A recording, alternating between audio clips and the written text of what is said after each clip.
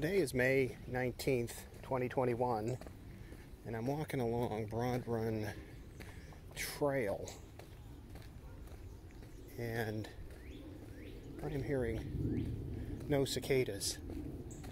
Back eight years ago, we had a major infestation of them down here.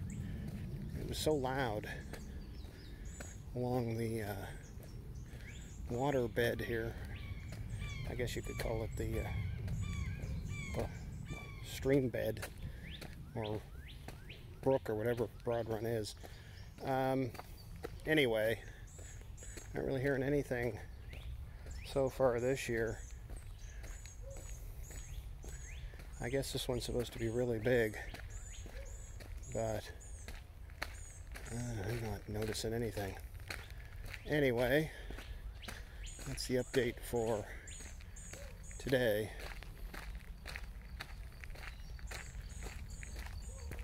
It's a nice day though.